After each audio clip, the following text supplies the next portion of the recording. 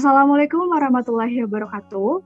Kembali lagi dalam acara podcast BPPM Talks episode ketiga yang membahas tentang isu lingkungan. Bersama saya Syirani Soraya Putri yang akan langsung mewawancarai seorang narasumber di mana beliau merupakan dosen dari Prodi Ilmu Komunikasi Fakultas Ilmu Sosial dan Ilmu Politik Universitas Pasundan Bandung. Yaitu uh, ada Ibu Ratih di sini. Halo Ibu Ratih. Halo, selamat sore Halo. semuanya. Bagaimana kabarnya Bu? Alhamdulillah baik-baik aja di tengah uh, pandemi yang belum selesai-selesai ya. Kita udah mau dua tahun ya kita. Ya betul Ibu. Ketemu layar terus. ya betul banget Ibu. Ya dan Ibu Rati ini juga merupakan seorang pegiat lingkungan ya teman-teman semuanya. Jadi sangat pas sekali gitu tema kita hari ini dengan narasumber kita kali ini. Mungkin langsung bisa saja ya Ibu untuk uh, ke sesi tanya jawab aja. Mungkin mungkin langsung saja boleh Ibu ceritakan bagaimana pengalaman Ibu selama ini ketika uh, berjibaku dalam dunia isu lingkungan itu sendiri. Ya, dipersilahkan Ibu. Kalau ngomongin tentang pengalaman saya ketika saya berjibaku nyemplung di apa namanya segala sesuatu yang berhubungan dengan lingkungan, uh, kita mulai dari yang sukanya dulu atau yang dukanya dulu nih, share. Gimana ya Bu? Mungkin dari sukanya dulu deh Bu. Gimana? Sukanya dulu aja ya supaya kita semangat ya. Kalau dari sukanya yeah. tentu saja saya uh, apa namanya banyak ketemu sama isu-isu yang apa namanya yang uh, saya nggak pernah ketemu sebelumnya. Kemudian saya banyak ketemu hmm. sama orang-orang hebat ya. Kemudian saya juga uh, dikasih kesempatan untuk uh, ngeliat di negara lain bagaimana uh, lingkungan dijaga oleh masyarakat dan tentu saja didukung oleh uh, apa namanya uh, law system yang ada di negara tersebut gitu. Banyak sekali pengalaman-pengalaman menyenangkan dan uh, banyak sekali ilmu yang saya dapatkan ketika saya tahu bahwa uh, kita ini hal-hal sederhana yang kita lakukan seperti misalnya ke minimarket ya terus udah gitu kita nggak bawa tas belanja itu tuh it's a crazy things to deal with di mana harusnya kita nih bawa tas belanja. Karena kebayang nggak sih uh, share dan teman-teman mahasiswa semua ya kalian cuman ke minimarket bawa belanjaan cuman berapa uh, menit pulang ke rumah dan plastiknya dibuang. Dan itu plastik itu sampai kita dikubur mungkin sampai kita eh, nggak uh, tahu kapan itu plastik kan susah banget terurainya bisa jadi katanya 100 tahun juga dia nggak terurai dan itu uh, sebuah apa ya pengalaman yang luar biasa menurut saya. Hmm. Nah kalau ngomongin dukanya dukanya ketika kita sudah tahu bahwa hal-hal tersebut bisa merusak lingkungan ya e, dukanya ya kita pasti sedih ketika ngelihat orang bisa cuek bebek bawa plastik ke mana-mana beli gorengan pakai plastik udah gitu ke depan ada tukang apa cendol diplastikin lagi ke depan lagi ada tukang bubur diplastikin lagi dan terus sampai ke rumah itu dia bawa 10 plastik karena dia bawa 10 jajanan dan kebayang hmm. nggak sih si plastik-plastik itu tuh nggak bisa terurai nah ketika kita ngelihat fenomena-fenomena tersebut kita jadi sedih karena kita tahu sampah-sampah tersebut tidak bisa terurai nah kemudian sekarang uh, kita ada di era di mana kita ke mana-mana harus pakai masker. Ini kita nggak pakai masker karena kita nggak ketemu ya. Mungkin kalau kita ketemu langsung kita emang harus pakai masker. Di mana masker sekali pakai itu ternyata jadi masalah baru di lautan. Dia itu jadi sampah yang sulit sekali terurai dan ketika kita ngelihat fenomena-fenomena tersebut pastinya kita jadi sedih banget. Dan ketika kita uh, ngingetin gitu ke orang-orang bahwa ayo dong jangan pakai yang sekali pakai wadahnya atau apa pun lah yang kita gunakan jangan pakai yang sekali pakai itu orang tuh malah marah balik gitu ke kita. Apa sih lo? So ini banget so ini banget gitu. Ya dukanya sih kayak gitu gitu. Ketika kita pengen ngingetin orang-orang tapi orang-orang malah jadi apa uh, balik ngambek gitu sama kita. Hmm. Dukanya iya. Iya bener banget ya Bu ya, apalagi kalau misalkan di kalangan mahasiswa sesuatu hal yang memudahkan kita misalkan untuk berbelanja pakai plastik kan itu langsung aja yeah. dipakai gitu ya Bu ya, kita nggak berpikir Betul. untuk jangka panjangnya seperti apa. Nah oleh karena itu mungkin kita bisa untuk memulai dari hal yang uh, biar memacu kesadaran lingkungan terhadap teman-teman mahasiswa ini. Uh, kalau kam kalau kita bicara kenapa sih isu lingkungan ini nggak akan ada habisnya? Apakah isu lingkungan ini akan berhenti? Nggak. Sampai akhir zaman juga isu lingkungan ini nggak akan berhenti. Karena kita memang hidup di sini gitu loh. we live in on earth gitu. Kebayang gak sih? Kayak bayangin aja gini loh share ya bayangin aja nih teman-teman. Uh, kita tinggal di sebuah rumah terus udah gitu kita cuek aja rumah nggak kita bersihin kita udah bangun tidur kita cuek aja nggak lipetin kita bekas makan nggak kita buang. Kebayang nggak sih akan seperti apa? Nah sama seperti isu lingkungan. Kita tinggal di sebuah lingkungan kita tinggal di bumi ini tapi kita nggak pernah peduli sama uh, apa bumi ini. Kita nggak peduli air bersih kita nggak peduli sama yang namanya sampah kita nggak peduli sama yang namanya uh, apa uh, menjaga uh, supaya tidak uh, polusi udara dan lain sebagainya. Ya hancur lah gitu loh. Ya bakal ngebalik gitu. Itu itu itu bakal jadi apa namanya bumerang buat kita. Kalau kita jaga ya lingkungan bakal balik baik lah istilahnya ke kita. Kalau kita nggak jaga ya lingkungan bakal nyerang balik sama kita. Ya kayak misalnya gini ketika orang tidak peduli uh, dengan isu uh, lingkungan ya misalnya nih ya contoh kecilnya uh, kita buang sampah di mana aja. Kita buang sampah di mana aja, kita tidak peduli dengan tempat pembuangan sampah akhir yang pernah terjadi di Citarum beberapa tahun kemarin itu Citarum itu seperti pulau. Citarum itu kan sungai. Tapi dia seperti pulau. Kita bisa berdiri di atasnya. Kebayang nggak sih betapa padatnya itu sampah? Kita berdiri di atas uh, ini ini ini air ya. Ini sampah. Terus kita bisa berdiri di atas itu waktu itu saya diajak sama BNPB eh, Badan Penanggulangan Bencana Nasional ya BNPB. Waktu itu ketuanya masih Pak Doni Monardo.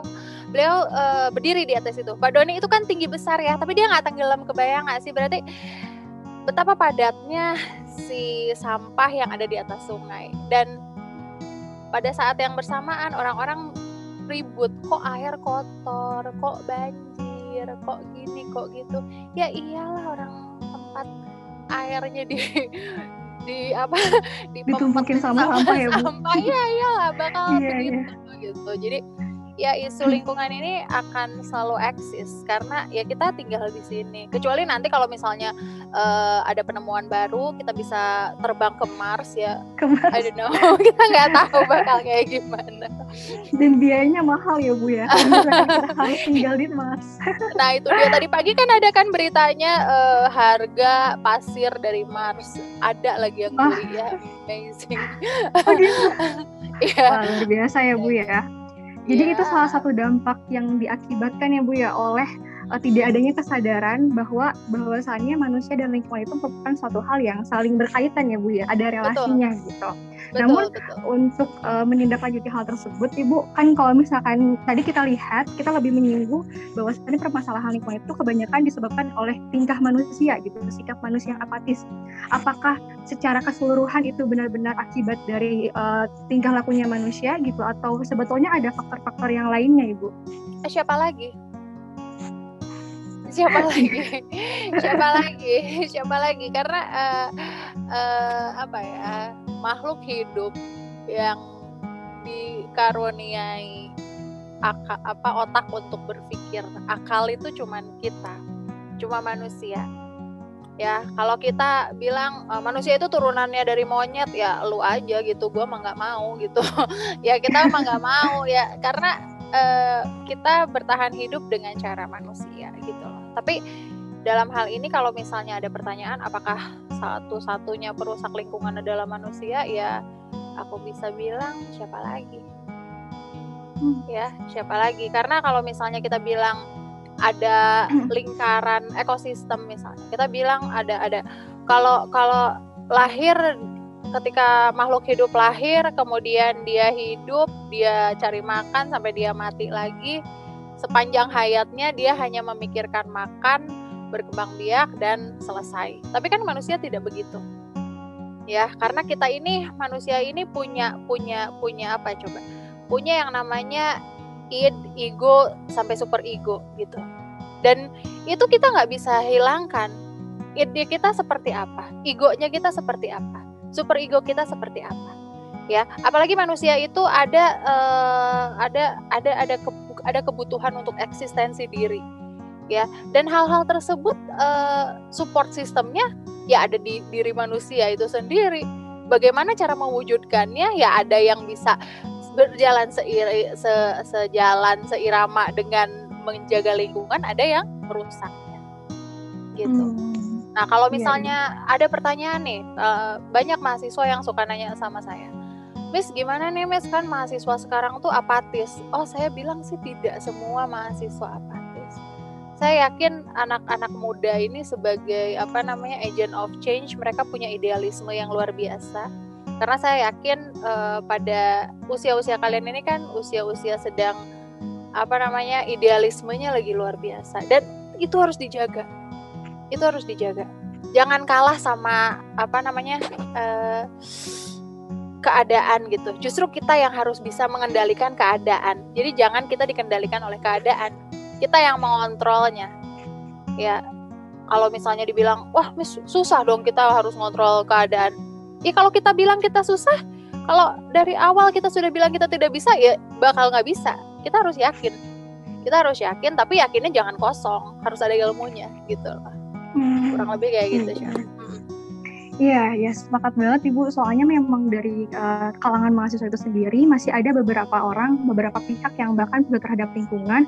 Namun hmm. kadangkala ia mengalami seperti yang Ibu sampaikan tadi ya. Misalkan kayak mereka tidak setuju jadinya malah jadi balik balik ngambek ke kita gitu ya Bu ya. Yeah. Kalau misalkan uh, mereka itu dikasih tahu, mungkin kita pendekatannya juga harus sesuai dengan apa yang mereka uh, nyaman gitu di situ.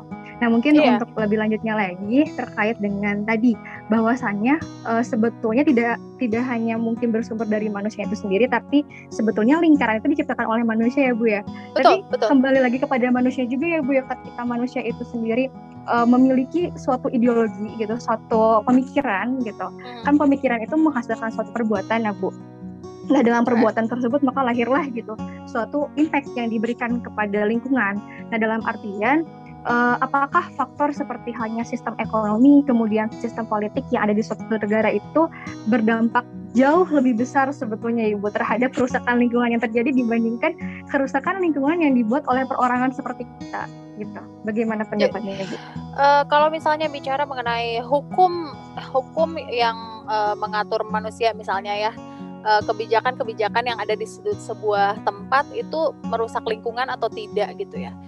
Uh, sebetulnya tidak ada undang-undang atau hukum yang salah ya kalau menurut saya. Ketika saya sudah membaca peraturan bagaimana cara e, menggali apa namanya sumber daya alam bagaimana caranya menggal apa mengambil sumber daya alam, kemudian pada akhirnya dirubah menjadi BBM dan lain sebagainya sampai akhirnya seperti apa, itu mau nggak mau pasti ngerusak lingkungan. Tapi hukum yang berlaku sebetulnya tidak ada hukum yang uh, apa namanya menyengaja untuk merusak lingkungan. Pada akhirnya ya orang-orangnya itu sendiri yang merusak. Kayak misalnya gini, pemerintah uh, pelan-pelan gitu ya, pelan-pelan pemerintah bilang sama kita kita ini sama uh, apa namanya uh, masyarakat di uh, minimarket minimarket mereka itu menggalakkan untuk membawa tas belanja. Gitu. Itu yang sederhana aja yang simpel aja ya. Tapi ujung-ujungnya apa? Si orang-orangnya itu nggak nggak ini nggak nggak nggak mudeng nggak ikutan gitu. Jadi kalau misalnya uh, itu udah keren banget ya apa yang dilakukan oleh uh, pemerintah di mana mereka menyuruh kita untuk membuat belanja. Dan itu uh, dikomunikasikan sampai ke leveling yang paling bawah yakni kasirnya itu sampai ngomong bawa tas belanjanya. Sebenarnya dia udah ngelihat kita tuh nggak nggak kita tuh nggak bawa apa-apa gitu tapi dia tetap nanya karena dia menjalankan apa namanya peraturan ya law yang diberlakukan. Jadi kalau misalnya ditanya apakah hukum e, di sebuah tempat itu bisa me, apa me, membantu dalam perusakan lingkungan? Oh jelas ya. Ketika kita diberlakukan bahwa kita tidak boleh uh, beli air mineral dalam kemasan ya itu kan sampah ya? Ya ya artinya harus sampai ke level yang terbesar dong. Sampai pabriknya hmm. juga harus tidak menyediakan air mineral dalam kemasan. Kalaupun dia menyediakan berarti plastiknya harus gimana? Reusable recyclable ya dan lain-lain. Dan kemudian bagaimana hukum mem, e, mempengaruhi perusahaan lingkungan? Denda misalnya benar nggak dijalanin ke perusahaan-perusahaan besar yang merusak lingkungan? Bener nggak dijalanin hukum-hukum di mana mengatur uh, orang-orang yang buang sampah, mengatur uh, limbah-limbah industri, bener nggak dijalanin gitu apakah dijalanin tapi ujung-ujungnya ya udahlah kita sama-sama tahu aja gitu ya. Ya udah kita sama-sama tahu aja udah gimana lagi kalau nggak dibuang ke sungai gimana lagi kalau nggak dibuang ke laut gimana lagi ngebuangnya. Ya ujung-ujungnya hancur-hancur juga gitu loh. Nah kalau misalnya ngomongin polusi udara ini si ppkm ini sedikit banyak mengurangi polusi udara dibilang iya iya kita bisa bilang iya. Karena mobil uh, yang lalu lalang di jalan raya motor ya memang kalau misalnya ngomongin polusi udara ya lumayan lah ya berkurang gitu. Yeah. tapi kalau misalnya kita ngomongin ekonomi ya sebaliknya hancur. Ekonomi kita lagi hancur-hancurnya ya. yeah, apalagi yeah. kemarin ada demo tukang ojek segala macam ya. Iya di Bandung ya. ya iya di Bandung itu aduh kita nggak bisa marah sih ya karena mereka juga ngomongin perut ya kita juga cuma bisa aduh gimana tuh ya ada bingung. Iya. Gitu, iya iya ibu. Betul banget ya bu ya. Tadi kayak dampak dari lingkungan itu sendiri kan sebetulnya dengan adanya pandemi itu merupakan salah satu dampak yang sangat luar biasa gitu ya Bu ya dari adanya kerusakan yeah. lingkungan gitu ya mungkin uh, teman-teman semuanya udah pada tahu gitu istilah dari zoonosis ya Bu ya tentang zoonosis yeah. itu sendiri. Nah tapi saya ingin menyinggung tadi tentang uh, di mana uh, adanya suatu peraturan-peraturan atau kebijakan dari pemerintah yang semisal mensosialisasikan kepada masyarakat gitu. Melalui minimarket atau mungkin kalau untuk uh, as, apa ya ruang lingkup pasar itu tidak terlalu ya Bu ya. Tapi biasanya minimarket atau supermarket itu sudah mulai menggalakkan agar uh, para konsumennya itu menggunakan uh, tas yang bisa dipakai berulang kali. Nah, ya, namun saya pernah membaca dalam salah satu buku karya John Bellamy Foster yang berjudul Economy Against Capitalism itu dijelaskan gitu Bu bahwasanya sebetulnya yang menjadi permasalahannya itu akarnya itu adalah sistem ekonomi yang dalam artian kapitalisme itu sendiri gitu Bu. Nah karena akarnya tidak bisa diselesaikan dan pemerintah secara uh, komprehensifnya itu belum bisa untuk membuat suatu kebijakan yang dapat menanggulangi hal tersebut pada akhirnya uh, apa ya sosialisasi sosialisasi sosialisasi yang dilakukan itu hanya akan tetap menguntungkan para pengusaha gitu dalam artian ya tetap ujungnya itu profit gitu keuntungan gitu. Nah, walaupun disebut sebagai kapitalisme hijau. Nah, dalam artian ini juga mungkin di kalangan mahasiswa yang mereka tertarik ya buat terhadap isu lingkungan sering kali menjadi suatu tantangan gitu agar bisa ya. mensosialisasikan kepada mahasiswa yang lain tuh bahwasanya memang betul seperti itu tapi bukan sesuatu hal yang harus kita jadikan itu uh, malah jadi menurunkan semangat untuk bisa yeah. peduli terhadap lingkungan ya Bu ya. Nah itu bagaimana yeah. ya Bu ya caranya agar kita bisa untuk ya apa peduli terhadap lingkungan, tapi di sisi lain juga terus bergerak gitu untuk menyuarakan kepada pemerintah bahwasanya mengganti alternatif sistem ekonomi agar bisa lebih ramah terhadap lingkungan. Pendapat Ibu seperti apa? Jadi gini ya, kalau misalnya uh, ujung-ujungnya sih tetap ada yang diuntungkan nih, tetap aja nih para pengusaha-pengusaha, pengusaha dan penguasa ini tuh mereka yang diuntungkan. Nah sekarang gini, uh, kita mikirnya sederhana aja, kita mikir pragmatis dulu aja. Ketika mereka diuntungkan, tapi lingkungan kita hijau, lingkungan kita uh, selamat, tapi mereka diuntungkan, itu jauh lebih baik daripada mereka diuntungkan tapi lingkungan kita hancur ya jadi kita jangan mikir rumit lah. Kita kalau misalnya kita pikir aduh gimana nih mereka untung lagi nih? Aduh mereka lagi nih yang kaya nih mereka lagi yang untung mereka lagi dia dia lagi lu lagi lu lagi yang banyak duitnya lu lagi lu lagi yang ini. Nah sekarang apa sih untungnya gitu loh ketika kita ribut lo lagi lo lagi yang diuntungkan tapi ujung-ujungnya lingkungan kita hancur gitu. Jadi ya sudahlah setiap orang itu kan ada porsinya masing-masing gitu ya kalau misalnya si pengusaha-pengusaha itu yang mereka yang diuntungkan ya ya kalau kita pengen untung ya loncatlah kita ke sana gitu loh. Tapi sekarang kalau ketika pengusaha-pengusaha itu untung tapi lingkungan kita hancur, mending mana sih pengusaha-pengusaha itu yang untung lingkungan kita tetap hijau atau pengusaha-pengusaha itu yang untung tapi lingkungan kita hancur? Gitu kita mikir sederhana aja dulu karena kita kalau mikir langsung ke sana kita mikir langsung ke uh, sistem ekonomi lah dan lain sebagainya. Menurut saya itu hanya akan ribut di bawah saja kecuali kita punya linkage ke mereka. Ya kita punya kita punya tautan gitu karena tetap saja kita perlu wakil untuk bicara ke pemerintah ya that's why saya juga ngobrol beberapa uh, sama salah satu anggota DPRD waktu itu uh, Tobias Ginanjar. Kita lagi dia ngom dia ngurusin tentang ekonomi. Nah saya porsi saya saya ini dosen terus saya ribut-ribut tentang ekonomi teriak-teriak berkoar-koar ekonomi hijau dan lain sebagainya tapi tidak punya tautan ke pemerintah daerah percuma tapi ketika saya ngobrol sama dia, ya, sama beliau, kemudian bicara mengenai uh, ekonomi hijau, gimana nih caranya? Ya nanti pada akhirnya dia bilang bahwa para pengusaha-pengusaha kita mulainya dari yang kecil dulu UMKM mereka harus menggunakan apa kemasan-kemasan yang ramah lingkungan kemudian e, nanti lari lagi ke leveling yang lebih tinggi ke pengusaha-pengusaha besar di mana kemasan-kemasan makanan itu harus yang ramah lingkungan ya.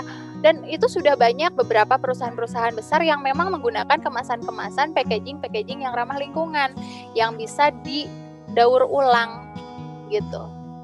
Ya, mulai dari uh, air mineral ya, kemudian makanan-makanan cuman memang biayanya kalau ngobrol sama para pengusaha itu biayanya memang besar untuk uh, kemasan yang ramah lingkungan dengan uh, kemasan yang tidak ramah lingkungan biayanya memang lebih mahal yang ramah lingkungan gitu. Yeah, yeah. Jadi kalau misalnya tadi balik lagi ke pertanyaan tadi gimana nih ujung-ujungnya mereka lagi yang untung, gimana nih mereka lagi yang uh, apa namanya banyak uh, profit, ya itu memang porsinya mereka.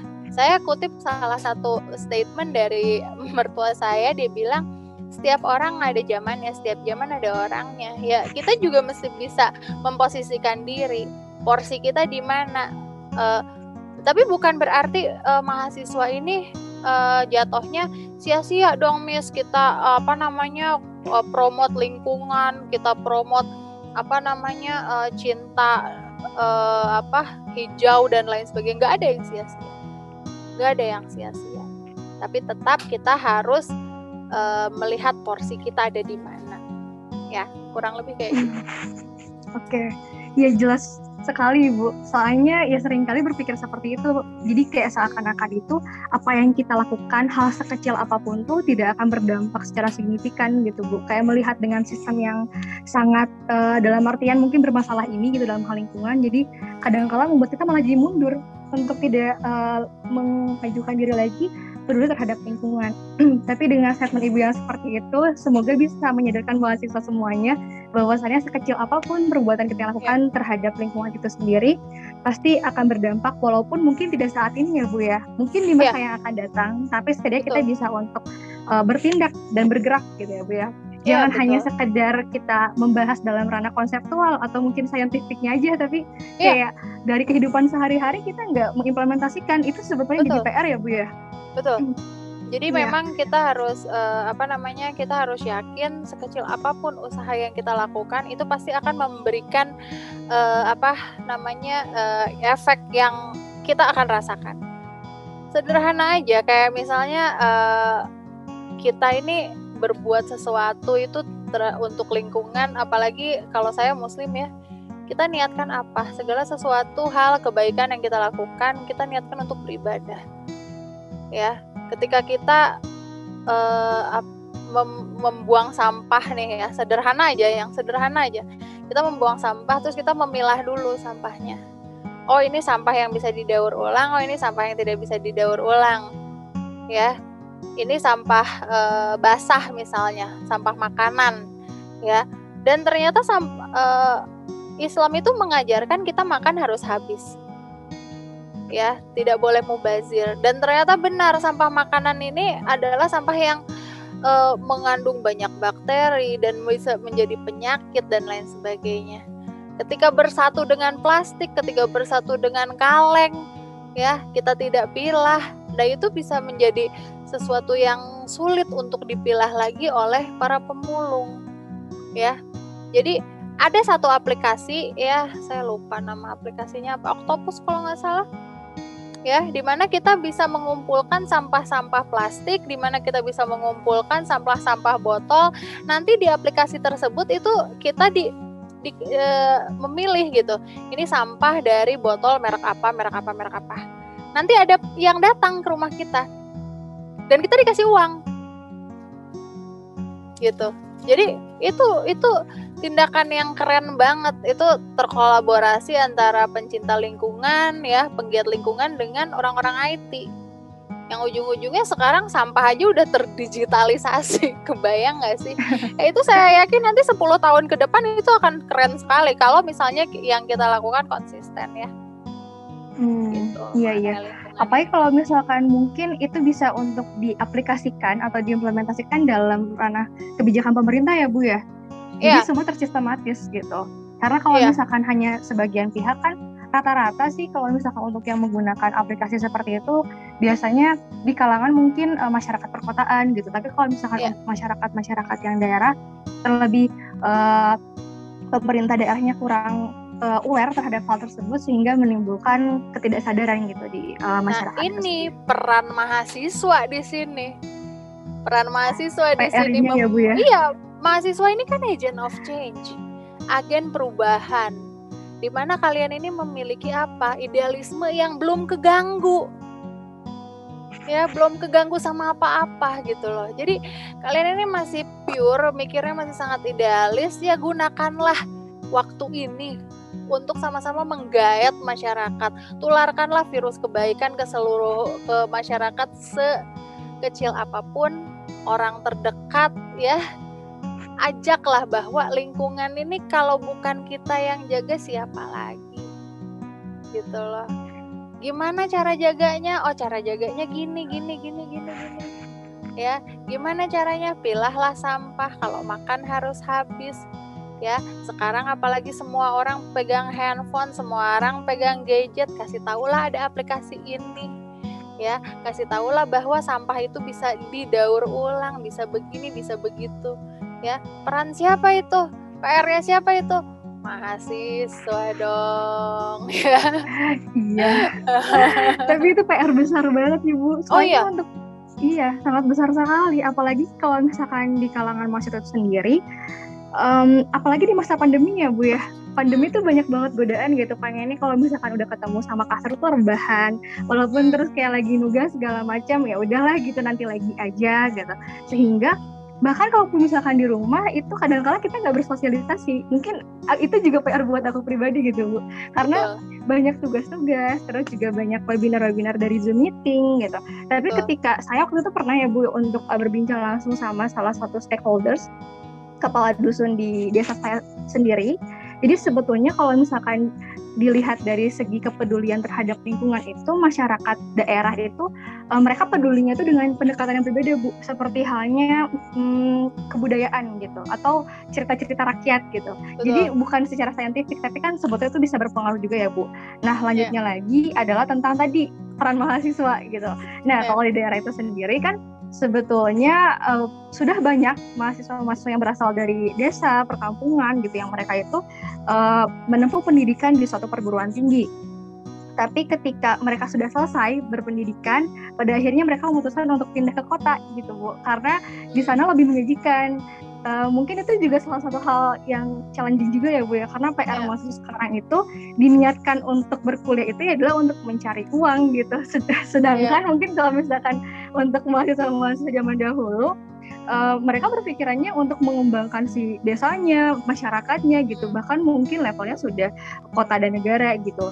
Nah mungkin bagaimana ibu uh, caranya gitu ya Bu kita sebagai mahasiswa agar bisa untuk menumbuhkan rasa cinta terhadap lingkungan dan mengembangkan uh, wilayah sekitar kita gitu. Sehingga arus urbanisasi yang terjadi itu tidak secara serta merta itu hanya ada pusat itu di kota aja gitu Bu. Apalagi kan sekarang dampak lingkungan lebih seringnya di kota sebetulnya ya Bu ya Betul. dibandingkan di desa-desa gitu. Walaupun di desa juga sudah mulai ada sih Bu pembangunan-pembangunan gitu kan. Ya. nah itu bagaimana ya Bu ya cara mengatasinya jadi kalau yang pertama tadi kan Sherani nanya gimana nih uh, apa namanya pendekatan ke masyarakat, di mana mereka lebih suka pendekatan-pendekatannya yang apa ya.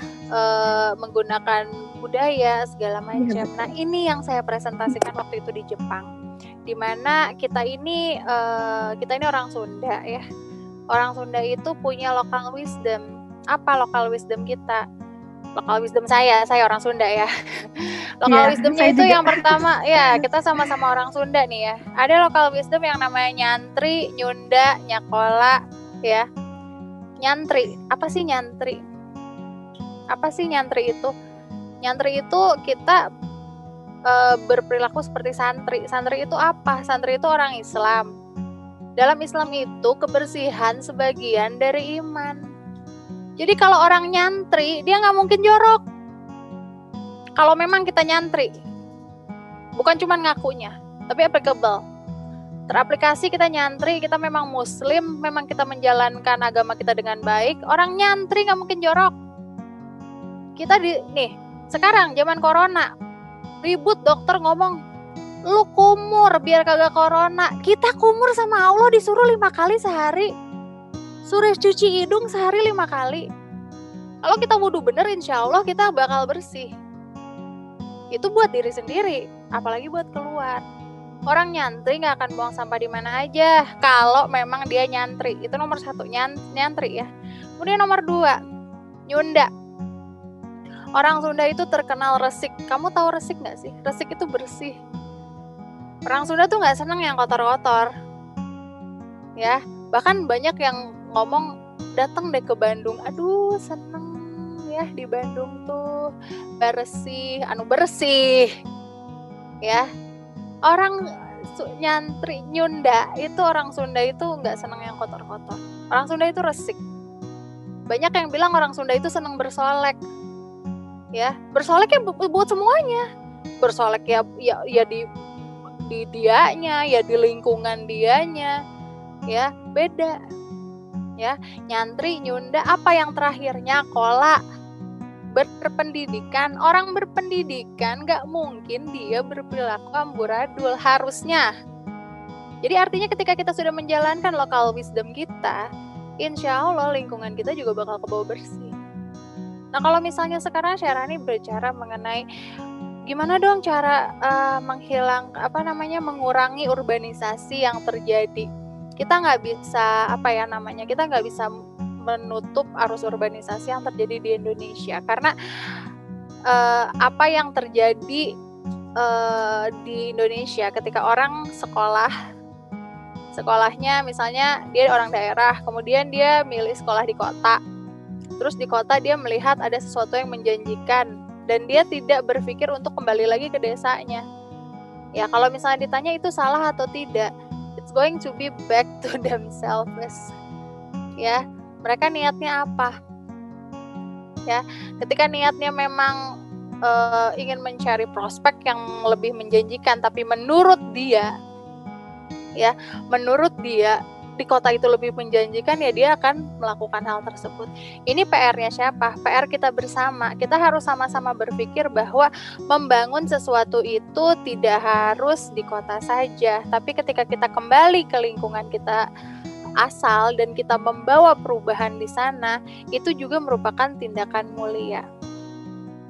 Gitu, ya. Jadi kita memang uh, apa namanya harus uh, kayaknya harus ada brainwash deh ya cuman kalau sekarang nih ya dengan fenomena sekarang saya tidak menganggap bahwa urbanisasi merupakan satu-satunya solusi untuk meraih kesuksesan tidak sekarang kita sudah punya yang namanya media ini media yang sangat-sangat membantu. Di mana pun kamu berada, kamu bisa berusaha. Di mana pun kamu berada, kamu bisa melakukan pekerjaan. Di mana pun kamu berada, kamu bisa menjadi pengusaha. Karena apa? Karena sekarang kita sudah punya media. Ya, jadi teknologi, uh, ya, Bu, ya? teknologi. Jadi kalau bicara mengenai urbanisasi sekarang, justru di masa pandemi seperti ini urbanisasi saya rasa pasti berkurang. Mungkin kita mesti cross check data juga ya sama uh, kementerian ya kementerian kependudukan. Gimana nih arus urbanisasi di masa pandemi seperti ini? Cuman kan kebanyakan banyak yang suruh work from home ya di mana mereka memang harus bekerja di rumah mereka harus menggunakan media jadi artinya uh, media ini sangat sangat membantu dan boleh jadi bisa mengurangi urbanisasi tersebut. Karena mau tidak mau sekarang ketika kita melakukan segala sesuatunya memang kita harus menggunakan media ini. Semoga saja dengan uh, kondisi yang seperti ini ya uh, tidak hanya dampak buruk saja tapi juga kita bisa melihat sisi baiknya, kita juga bisa mengambil tindakan yang bisa sama-sama memberikan solusi untuk kita bersama. Kurang lebih kayak gitu. Iya. Iya Ibu, sepakat juga sih walaupun mungkin uh, kita kebanyakan di sini dalam artian work from home itu bisa menjadi suatu hal yang sebagai alternatif ya Bu ya. Walaupun nggak mungkin kita mengharapkan itu selamanya sebetulnya tuh. Karena kalau misalkan seperti ini terus kita terus-terus pandemi, tapi di sisi lain ini sebagai suatu alternatif ya Bu ya karena kan apalagi dengan ada kebijakan ppkm ataupun psbb sebelumnya gitu ya yang membatasi uh, mobilitas uh, sosial masyarakat itu setidaknya mungkin dapat uh, menekan secara uh, terus menerus gitu terhadap atas organisasi walaupun tidak secara signifikan ya bu ya. Nah Ya, uh, lanjut lagi Ibu terkait dengan mungkin tadi yang berhubungan dengan peran mahasiswa itu sendiri dalam uh, apa ya terhadap daerahnya karena kan sering kali kita memproyeksikan bahwasannya kita harus berperan terhadap daerah itu adalah ketika tinggal di daerah tersebut gitu Bu. Tapi mungkin bisa juga ya Bu ya di mana pun kita berada profesi apa pun yang kita jalankan sebetulnya itu bisa berdampak juga gitu terhadap daerah itu betul. uh, ataupun daerah kita sendiri gitu ya. Seperti kita iya. menjadi pemegang kebijakan mungkin ya bu ya? Betul tentu saja. Jadi misalnya gini kita nggak tahu nih Syarani nanti di masa depan bakal jadi apa gitu ya. Kalau misalnya seperti ini misalnya kamu asalnya dari dari mana nih? Orang aku mana? dari nih? Kabupaten Bandung. Nah, misalnya Syarani dari Kabupaten Bandung, Syarani sekolah di Kota Bandung. Artinya uh, bukan berarti kamu membangun daerah memang harus balik lagi ke kabupaten. Nggak gitu juga. Nggak gitu juga. Ketika ketika Sherani bisa menjadi pemegang kebijakan, ketika Sherani bisa menjadi uh, somebody gitu ya, menjadi seseorang di kota Bandung, kenapa tidak untuk membangun daerah? Ya, kenapa tidak untuk membuat kebijakan-kebijakan baru di mana bisa membangun kabupaten-kabupaten di sekitar Bandung? Gitu loh ya. Kenapa tidak bisa membuat program gitu loh. Jadi kita jangan berpikir sempit bahwa kalau misalnya kita mau membangun daerah kita memang harus ada di sana. Nggak juga. Nggak juga gitu. Jangan jangan berpikir bahwa oh jadi kalau misalnya kita uh, udah lulus nih kita memang harus uh, pengen ngebangun daerah kita harus pulang kampung nih. Nggak juga. Nggak gitu juga. Ya jadi kita bisa melakukan hal-hal yang signifikan tanpa harus ada di tempatnya. Gitu. Ya nah berarti tidak ada kata tidak ya bu ya? Maksudnya oh, iya untuk kita bisa berkontribusi terhadap lingkungan walaupun mungkin Betul. kita bisa untuk mengaksesnya dari jauh gitu ya bu ya? Mengkoordinasikannya walaupun kita nggak harus terjun langsung tapi ya akan lebih baik kalau misalkan terjun langsung juga ya bu ya? Yeah. tapi ya setidaknya kita masih tetap untuk bisa berkontribusi terhadap lingkungan. Nah, untuk uh, spesifikasinya terhadap uh, mahasiswa itu sendiri mungkin ya Bu ya uh, kembali lagi gitu uh, sebagai penutup juga mungkin ya Bu ya karena oh, okay. sebetulnya ya sebetulnya kalau misalkan untuk melihat waktu juga sudah menunjukkan ya. Nah jadi untuk uh, Ibu sendiri bagaimana kira-kira saran terhadap mahasiswa agar mereka lebih cinta lagi terhadap lingkungan walaupun mungkin biaya yang harus dikeluarkan lebih besar tapi setidaknya punya kesadaran terlebih dahulu lah gitu Ibu dan selanjutnya juga terakhir bagaimana agar uh, mahasiswa itu sendiri bisa untuk uh, terjun langsung berkolektif gitu bersama-sama menyuarakan tentang isu lingkungan kepada masyarakat uh, dan se selanjutnya juga bagaimana agar bisa gerakan tersebut itu terus menerus secara konsisten. Karena sering kali itu dia inkonsistensi yang tidak terjaga menimbulkan kita malah jadi kayak aduh males deh untuk ngurusin hal-hal yang kita rasain sekarang gitu bu manfaatnya. Nah itu bagaimana ya bu ya untuk okay, mengatasinya? uh, yang pertama gimana nih caranya nyemangatin mahasiswa ya? Nyemangatin mahasiswa yang pertama mahasiswa harus sadar dulu nih harus sadar dulu nih bahwa kalian ini adalah agent of change di mana perubahan-perubahan itu bergantung pada kalian ya. Di mana kalian adalah penyebar virus nih ya. Kita jangan berpikir bahwa virus itu virus tuh buruk aja tapi virus baik ya. Di mana uh, kalian bisa gitu mempengaruhi orang-orang bahwa uh, mencintai lingkungan ini adalah uh, sebuah investasi yang luar biasa untuk kita dan keturunan-keturunan kita di masa depan gitu loh. Jadi kalau bukan kita siapa lagi? Ya, sekarang mau nyuruh, mau mau nyuruh siapa gitu loh untuk menjaga lingkungan, mau nyuruh siapa? Justru ketika kita mencintai lingkungan itu itu hal yang keren loh. Keren nggak sih kalau kita pakai Tesla? Iya. Keren nggak sih kalau kita pakai sepeda lipat yang harganya segitu? Keren nggak sih gitu? Ya, ketika kita menjalankan sesuatu yang berhubungan dengan lingkungan itu bukan hal yang buruk, itu justru hal yang keren banget gitu. Dan itu merupakan apa? Merupakan investasi. Ingat aja bahwa itu adalah investasi untuk kita dan anak cucu kita di masa depan nanti kalau misalnya, aduh nggak kerasa sekarang, emang nggak kerasa sekarang. Nanti kalau lu tua terus udah gitu di luaran sana polusi semua, enak nggak dipakai jalan-jalan? Mana kalau kita udah tua mah ya udaranya harus yang bagus kan? Ya. Nah kemudian tadi apa yang kedua? Oh, uh, untuk yang kedua itu sendiri, ini Bu, bagaimana agar mahasiswa bisa berkontribusi dalam suatu gerakan lingkungan gitu Bu, dan uh, cara untuk uh, agar tetap konsisten dan tidak terjadi oh, konsistensi bagaimana, itu bagaimana gitu Bu? Bagaimana ya. mahasiswa hmm. untuk apa? Uh, bergerak bersama uh, bergerak dalam bersama. menyuarakan isu lingkungan, ya.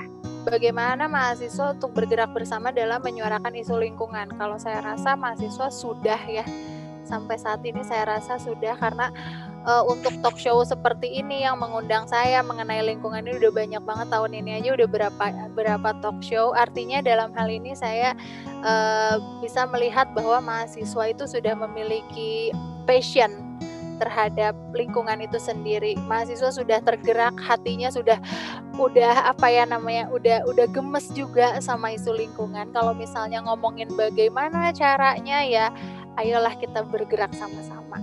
Ayolah kita bergerak sama-sama, bergandengan tangan, kemudian kita melihat, mengobserv, lalu menentukan bagaimana caranya untuk memberikan solusi-solusi terbaik untuk uh, lingkungan kita. Dari circle yang paling kecil dulu aja inner circle kita yang paling kecil yaitu family, kemudian kita lihat our, apa teman-teman kita, kemudian ke lingkaran yang lebih besar lagi ya.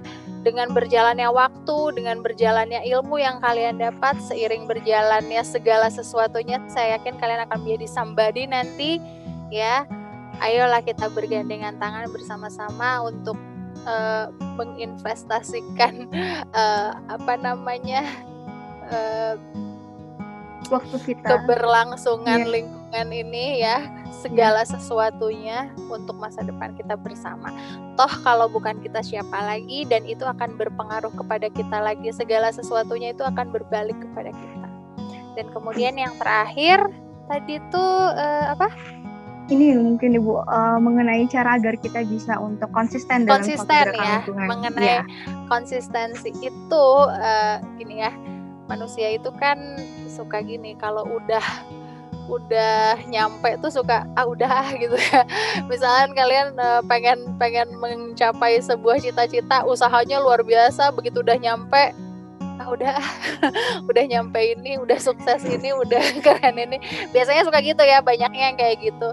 Kalau misalnya kita mau ngomongin konsistensi ya kita gini aja segala sesuatu yang kita lakukan ketika kita sudah sampai misalnya gitu ya uh, apa namanya lingkungan kita udah bersih, kemudian polusi udara juga udah bagus, uh, eh sorry polusi udara juga udah berkurang, kemudian segala sesuatunya itu sudah layak untuk di uh, apa digunakan kembali, kayak misalnya kita bisa minum air langsung dari keran, kan itu kayaknya nggak mungkin banget ya di kita airnya kan nggak sebersih itu gitu, harus destilasinya berapa level, berapa tahap gitu ya.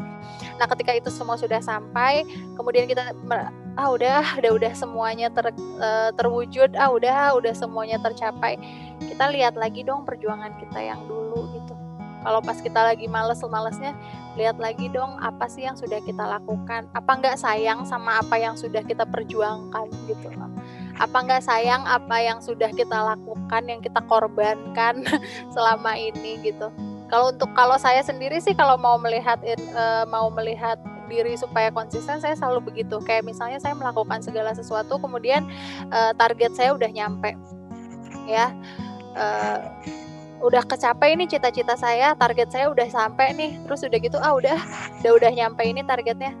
Saya selalu berkaca lagi ke belakang untuk meraih target itu tuh step apa saja sih yang sudah saya lakukan, step apa saja sih yang sudah saya perjuangkan, step apa saja sih yang sudah saya korbankan. Apa nggak sayang gitu kita udah melakukan itu semua dan kita menyerah begitu saja. Ya udah ah, udah udah gitu. Kalau saran dari saya untuk menjaga konsistensi ya itu lihat apa yang sudah kita lakukan, perjuangan apa yang sudah kita lakukan dan pengorbanan apa yang sudah kita lakukan. Kurang lebih gitu sih, Sher. Iya, dan benar ya Bu ya, apalagi kalau misalkan kita sudah melakukan berbagai macam hal yang sudah kita perjuangkan, Betul. kemudian kita di titik yang merasa berhasil tuh merasa puas, jangan sampai kita kendor ya Bu ya, jangan sampai kita Betul. malah bikin uh, semangat itu turun ya Bu ya. Malah kita ya. harus terus-terusan berjuang karena tadi ingat teman-teman isu lingkungan adalah isu yang eksistensial sampai kapan pun akan terus ada gitu kalau misalkan kita nggak gerak dari sekarang ya Bu ya. Apalagi ya. mungkin baru-baru ini kita juga udah melihat selain bencana alam yang ada di Indonesia juga bencana alam seperti yang ada di Cina, di Jerman juga ya Bu yang lagi ramai mm -hmm. banget gitu di iya. pemberitaan. Yeah. Harus apa lagi gitu loh. Harus apa lagi yang membuat kita sadar bahwasannya impact-nya itu tuh langsung kerasa sama kita walaupun mungkin yeah. nanti secara langsung eh, lingkungan hijaunya yang asli itu tidak kerasa sama kita sekarang tapi setidaknya kita bisa untuk menciptakan memposisikan diri ya Bu ya. Berada yeah. di mana kita saat ini gitu. Apakah kita yang yeah. peduli terhadap lingkungan atau kita malah uh, apatis terhadap lingkungan? Mungkin uh, ada lagi penutup dari ibu kepada teman-teman mahasiswa mungkin ibu kalau penutup dari saya, ayo teman-teman mahasiswa kita tetap semangat, jangan kendor. Ayo kita sebarkan virus kebaikan ke seluruh dunia supaya kita sama-sama bisa merasakan dan mewariskan kebaikan untuk anak cucu kita di masa depan. Semangat terus. Oke, baik terima kasih banyak Ibu untuk uh, podcast kita pada hari ini dan semoga apa yang Ibu sampaikan tadi memberikan uh, manfaat terhadap teman-teman semuanya. Pastinya insight-nya sangat luar biasa sekali ya Bu ya.